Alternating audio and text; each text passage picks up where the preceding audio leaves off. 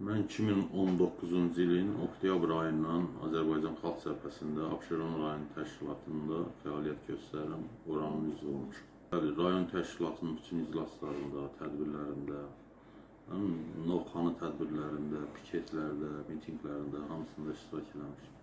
Bildirdiyiniz kimi 12-13 iyul hadisələri ilə bağlı Tovuz bölgəsində bir generalımızın, zabitlərimizin, əsgərlərimizin şəhid olması ilə bağlı bu xalqda ə, orduya dəstək məqsədi ilə bir ə, aksiya olmuşdur.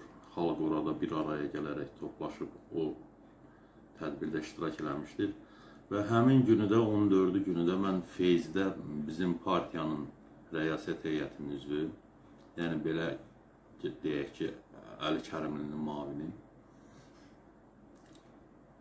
öz Facebook səhifəsində canlı yayım açaraq bizi bizi də ora dəvət eləmişdi. Onu orada iştirak eləməyə çağırmışdı və biz həmin yürüşdə də onun iştirakını canlı yayımda gördük. Və mən də özümə borc bildim ki, belə bir tədbirdə iştirak edeyim.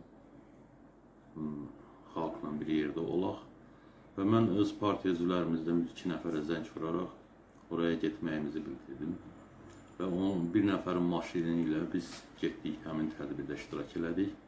Və biz oraya çatanda Milli Məclisin qabağında Asif Yusifli ilə görüşdük. Biz orada Asif Yusifli ilə görüşəndə o bizə bildirdi ki, biz xalqın çoxalmağını gözləməliyik.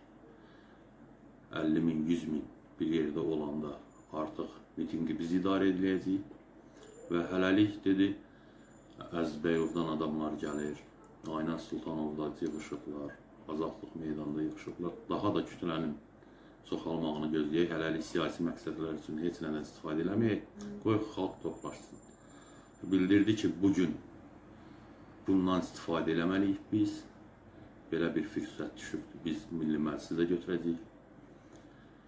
Və bugün hakimiyyət dəyişikliyi olacaq və bizim Əli bəydə bugünkü gün üçün bir şanslı prezident olacaq.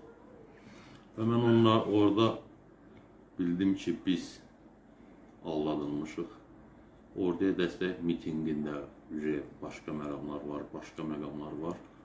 Və mən orada iştirak eləməyimə peşman oldum. Belə ki, xalq cərfəsi ilə bir yerdə iştirak eləməyimə peşman oldum. Və belə fikirləşdim, sonradan bu müsahibəni verdim öz istefamı partiyadan uzaqlaşmağımı qərar verim.